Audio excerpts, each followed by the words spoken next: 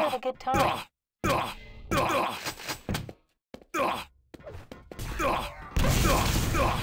Prepare to fight.